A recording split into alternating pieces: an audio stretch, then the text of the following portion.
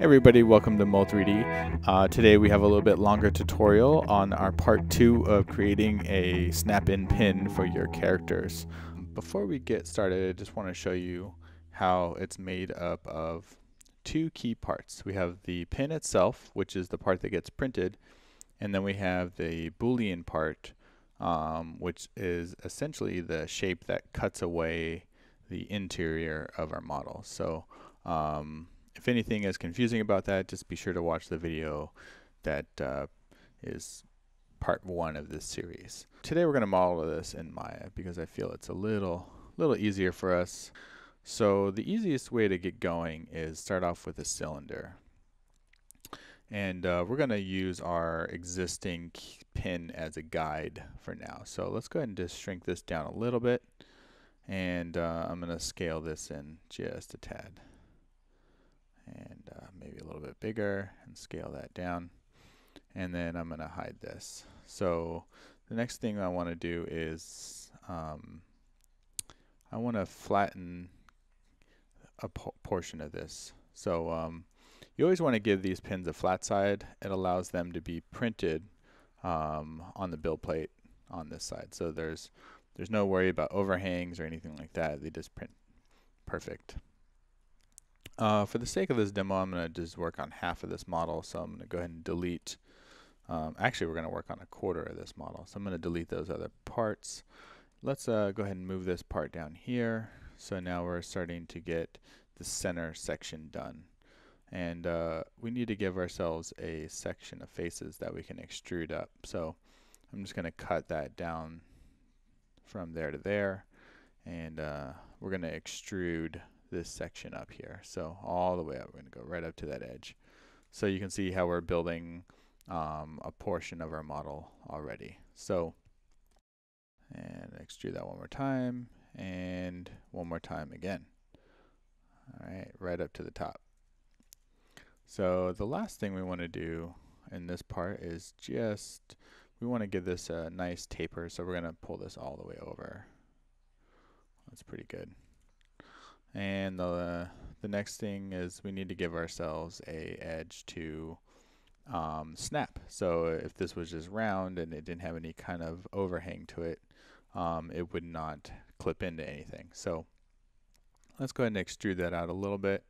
And uh, I'm going to give this thing a taper. Um, a good reason to give this a taper is that if this was a 90 degree angle here, once these go in, they would never come out.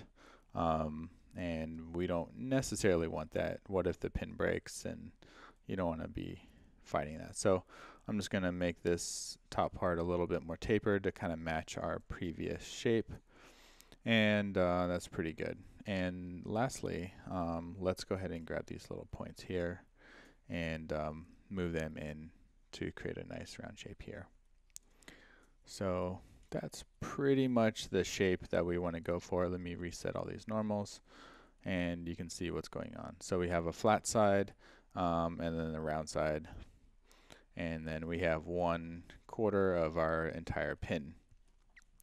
So um, I'm going to go ahead and just duplicate this over and grab that and then duplicate down the Y.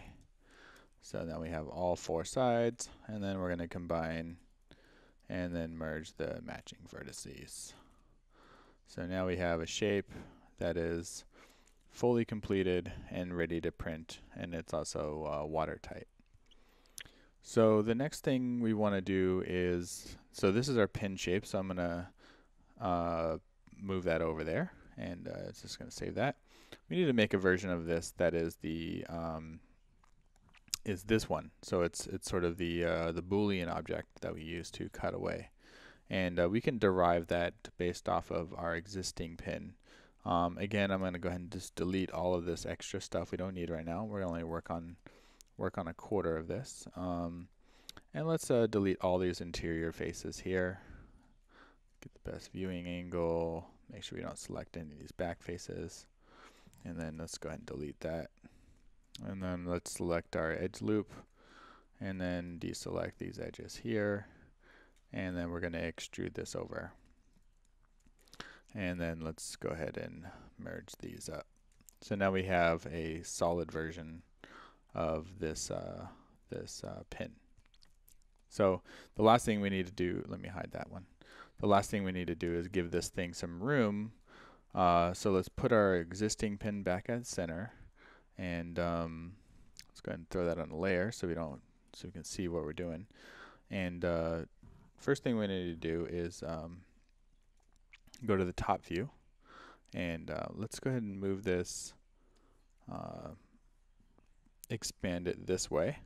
So we just want to sort of inflate everything really. Let's bring this out that way. So now we we've done we've done that direction. We've done that direction. Now we need to do the vertical as well. So let's go to the front view. And um, let's go ahead and pull that up that way. And then let's go to the side view. And we want to give us just a bit more room on that direction too. So uh, maybe that's a bit too much room. So let's pull that back. Alright so it's there. There. So essentially we've made a solid version.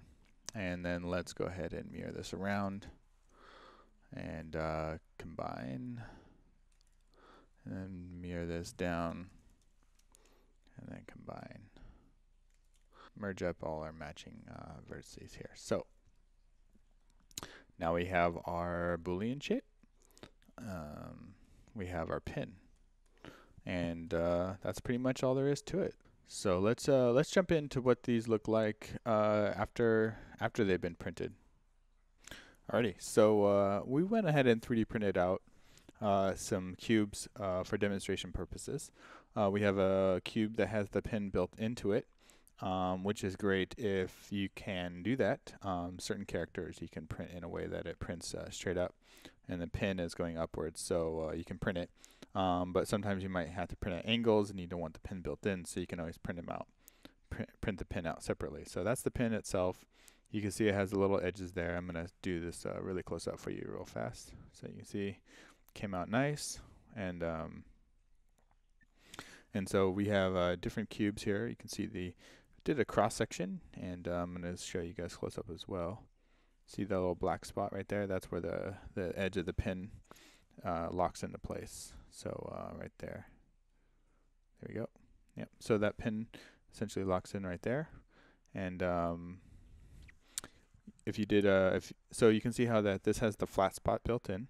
Um, basically what's going to happen with this one is that uh, it doesn't let the object rotate. So it locks it in place. Um, if you did a round version of that cutter shape, um, this would allow the model to freely rotate um, 180 degrees. And uh, that's best illustrated on this character that we are showing in the first video, is we have our Octobot here. And uh, for the top head, we wanted the head to freely rotate around. So he's able to look around as he walks. And uh, you can see we put the pin in and um, and we have one leg left, and uh, it just gonna snap in like that. And uh, you have to be careful with these pins; they do break easily, um, but you can always print another one. And uh, hopefully, you can hear the little snap sound.